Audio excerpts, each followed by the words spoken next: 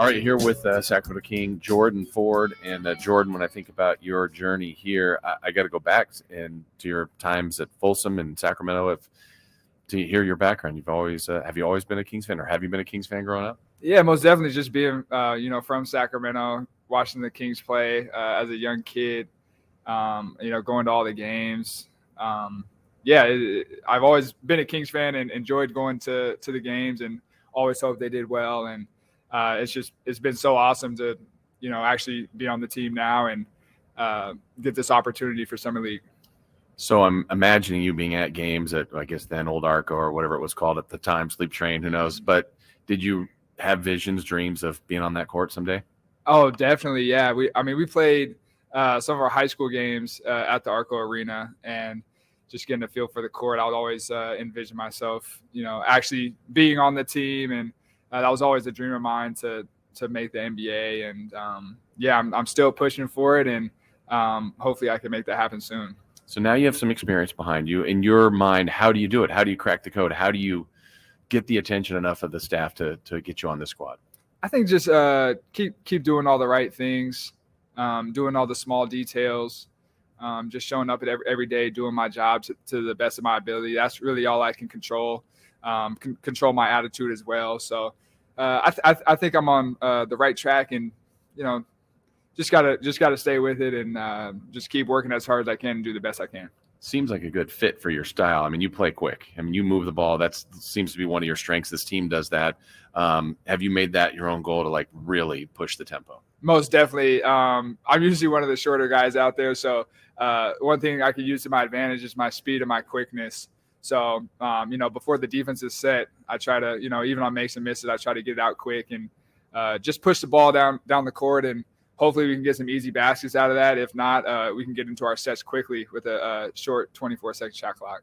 How difficult is it as a decision maker, a point guard, to find yours, but yet also know maybe who's hot or who who's open, kind of find that balance. Definitely. Uh, I mean, it, it's definitely something that you you have to learn throughout the years and uh, depending on uh, what team you're on, is going to be different for every team. There's not one uh, size fits all, but um, you know, you definitely you got to look to score. You got to look to be aggressive, but at the end of the day, like the, the team's going to run better if uh, everybody's touching the ball, everybody's uh, getting a feel for the game, and everybody's eating. So um, it's my job as the point guard to make sure that I uh, balance it the right way does that also fit into what you're i mean look you're trying to impress and that could be assists steals defense but also um, scoring. So like finding that balance of trying to make the impression, but also playing the team concept.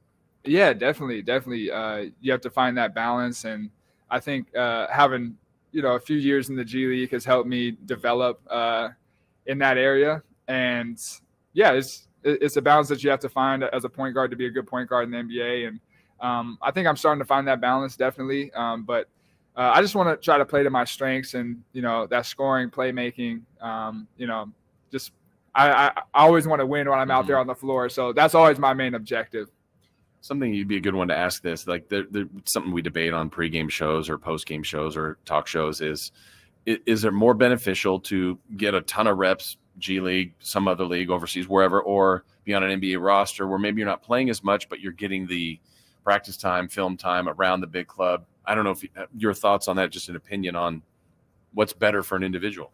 I think uh, as an individual, it's, it's better to get the playing experience. Um, so if you're on a G League roster and you know you're playing 25, 30 minutes a game, that's I think that's going to help your development. It's kind of like uh, like in high school, people you know they get stuck between going should I stay on JV or should I go to mm-hmm. varsity? And you know my answer is always you know if you're going to play on JV, then I think you should you should play. If you're just going to sit the bench on varsity, then um, I think it would kind of stunt your development a little bit. So I, I definitely believe that you should be uh, getting the reps the best you can. So along your journey from high school to college, when did you realize like I, I think I can do this? I can make this a career for myself. Um, I've definitely I've, I've always had that uh, belief in me since I was a, a young kid and just through training and believing in my work. But I would say probably my my sophomore year in high school is uh, when I really, you know, uh, it started clicking for me, and I, I, I really started to believe. But uh, I've always believed, and um, yeah, I had a breakout year my sophomore year, and I, I think that was like the turning point uh, for my career. So now, when you are playing like this, you know, getting some attention, getting putting up some good stats, what's it like? You know, playing for Sacramento. You had the California Classic here in Vegas, whether it's St. Mary's, Folsom, like you, you got a lot of local connections. I'm sure your uh, your phone's been pretty busy.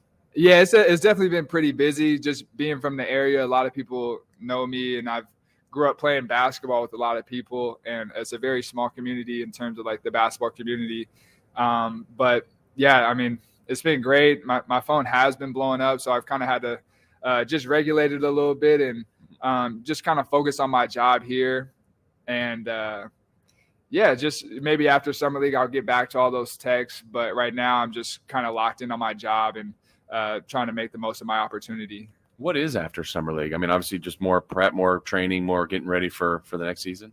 Yeah, we're, yeah, we're just kind of playing it by ear right now. Um, but yeah, definitely when I get back uh, to Sacramento, it's, it's going to be a lot of training, uh, a lot of strength training as well. Uh, trying to put on some calories so I could put on uh, you know a few pounds before the start of next season, and uh, that's pretty much my main goal. And um, yeah, I'll be working out with uh, Rashid Khan. That's my my trainer uh, in Sacramento, and then I'll be at uh, Minnie's House of Pain, which is uh, where I strength train. Got your shout outs in there. Yeah, I got a few shout outs in there, man. I got I got I got to show love to my guys. Yeah. um, have you had that moment where it's like, man, I, I'm playing NBA basketball, like you've gone on, or I'm guarding this player, whether it's a practice, G League, NBA, summer league, like where it's like, I can't believe I'm really doing this. Um, I would say I haven't really had that moment here. I would say that moment more happened in high school mm-hmm. when I was uh, uh, on the EYBL circuit. When I mm-hmm. first got to the EYBL circuit, you're playing against uh, you know top players every night, and uh, I feel like that stage really uh, prepared me for uh, where I am now. So, lastly, what would it mean to you to whether it's the Kings, another team, but get that word that it's a two-way contract, a regular contract, whatever it might be, that you have your name attached to the NBA? What would it mean to you? Oh, it would, it would mean it would mean everything. You know, it's something I worked for my whole life. I've been training for, and um, you know, I, I, think I'm ready for the opportunity. And it was just a it would just be a, a huge blessing, and um, I wouldn't stop there. I know the work wouldn't stop there, and I'll just uh, just try to keep improving, uh, no matter what the the contract was. Well, you got a lot of pe- uh, people rooting for you. Yeah, yeah. Thank you. No, I, I, definitely feel all the support, and I appreciate all the su- support, especially um, from everybody in Sacramento. So, um, yeah, I, I, love the support. Well, best of luck, Jordan. Thank you. Thank you so much. I appreciate it.